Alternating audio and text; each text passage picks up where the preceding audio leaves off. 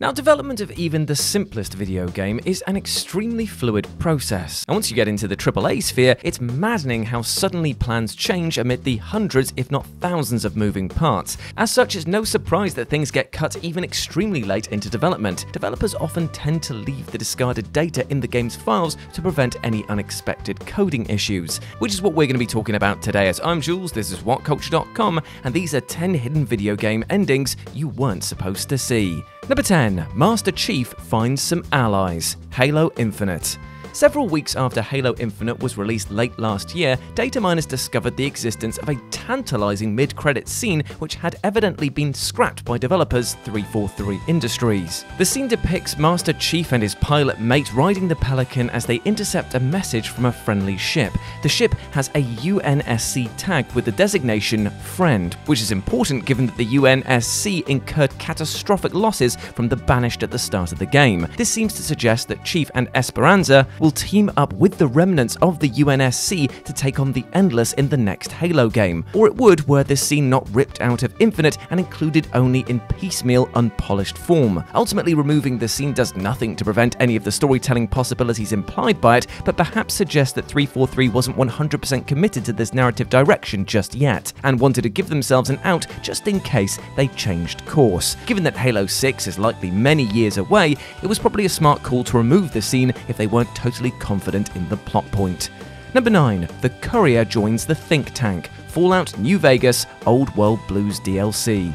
What would any Bethesda game be without a ton of discarded content simply sitting around in the game files just waiting to be uncovered by enterprising fans? This is even true of their DLC updates, such as Fallout New Vegas' Old World Blues expansion, which, in addition to several proper endings, included a fascinating cut one in which the player is able to join the think tank, the collective pre war scientists who have replaced their aging bodies with machines. Beyond persuading the think tank to stay in the Big MT research facility or simply killing them, which are both possible real endings, this unused ending posed a much darker alternative to join their side and assist them in their grotesque experiments on the residents of the wasteland. One of these experiments involved infecting the afflicted with a vegetation based STD that grew like a fungus within the victim's genitalia until their bodies burst open like pods. Yikes indeed. New Vegas' writer Chris Avellone later confirmed that Obsidian's art team had even created ending slides for this rather bleak alternative ending, yet Bethesda ultimately vetoed including it due to its grim content. And let me tell you, the writing staff clearly wasn't too thrilled about that decision.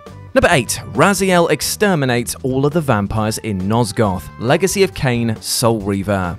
Now, Legacy of Kain's Soul Reaver had quite the troubled development, with the game ultimately being delayed almost an entire year and causing developers Crystal Dynamics to cut a huge amount of planned material. However, due to concerns that removing the cut assets from the game data could cause unexpected glitches, director Amy Hennig decided to keep them hidden within it. And so, hackers had quite the trove of unused content to pore over, including sound files which paint a vivid picture of what the game's curtailed original ending was supposed to be. The final release released game ends on a cliffhanger after hero Raziel battles Kain at the Chronoplast. But the audio data indicates that old Raz here was supposed to fight and defeat Kain in a follow up battle, and then scale the Silenced Cathedral superweapon and activate it.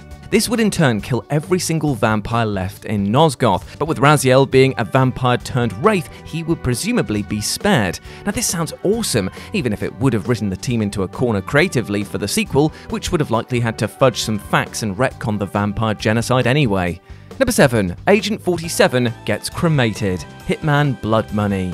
Hitman Blood Money ends with Agent 47 being apparently double crossed by his handler Diana, who injects him with a poison that seemingly kills him. But in reality, Diana injects him with a serum which induces a death like state, causing the villainous Cayne to hold a funeral for 47, which was set to end with his cremation, ensuring his genetic material would be totally obliterated. As the funeral takes place, the game shockingly rolls the end credits while 47 just lays there dead in the crematorium, except this isn't really the end of the game game. Because Diana injects 47 with an antidote to the serum during the funeral, players are able to interrupt the credits and rouse him back to life, murdering the gathered members of the shadowy franchise, including Cayne. Yet those who didn't interrupt the credits actually get to see 47 be lowered down into the cremation chamber, even if developer IO Interactive stopped short of showing the cremation itself. However, hackers eventually discovered the existence of a fully modelled cremation chamber below the main crematorium, suggesting that IO originally intended to show 47 being turned to ash for anyone who didn't interrupt the credits. And that's a damn shame that it got cut, because while 47's death obviously isn't canon, it would have been fascinating to see him burnt to a crisp all the same. Number 6. Joseph is a cult leader. Dream Daddy, a dad dating simulator. Visual novel dating sim Dream Daddy was released back in 2017 and was largely praised for being an enjoyable, wholesome feat of LGBT representation in the gaming sphere. But mere days after the game's release, data miners uncovered an unused additional ending. This ending would reveal that one of the potential dateable daddies, youth minister Joseph, is the leader of a dangerous demonic cult and has imprisoned the player character underground. The ending sparked a major tonal left turn from the rest of the game and was assumed by many to have effectively been a joke ending concocted solely for the developer's own amusement, and that it was one that was never intended to see the light of day. Since its discovery, fan reception has been mixed, with some even begging Game Grumps to implement it into the game in earnest, whilst others felt that it was problematic, a dated depiction of a queer religious man. Either way, some committed players recreated the full ending in a visual novel engine using all of the assets embedded into the game's files, allowing those curious to see it for themselves.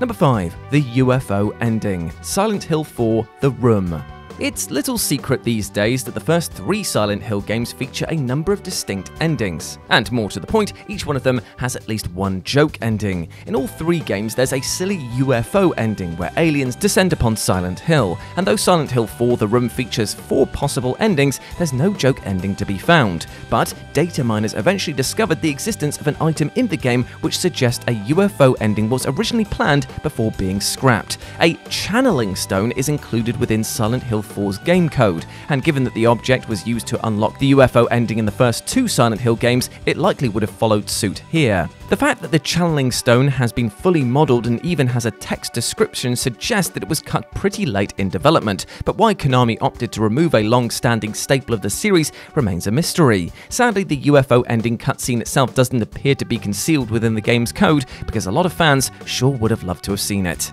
Number 4. You get kicked off the farm. Harvest Moon. Unlike every other hidden ending on this list, this one can actually be achieved by simply playing the game, or rather, not playing. Accessing the worst ending in Harvest Moon requires such a monumental heft of non effort that Nintendo likely assumed that nobody would ever actually see it. The so called complete failure ending can be achieved by doing the least intuitive thing in the game possible, and that is absolutely nothing. The farming sim encourages you to grow crops, raise livestock, socialize, and get married, but if you decide to sack all of that off and just hit the hay without doing anything else day after day. After the game's three year time period is up, you'll get kicked off the farm for being a good for nothing layabout. To rub salt in the wound, even your dog will initially run after you and then just give up seemingly confining you to just a life as a lonely drifter. Because of the sheer committed effort to nothing that this ending requires, few have likely ever seen it the hard way, and likely nobody has unlocked it organically without knowing about it beforehand. Number 3. Maria becomes a vampire. Castlevania Symphony of the Night.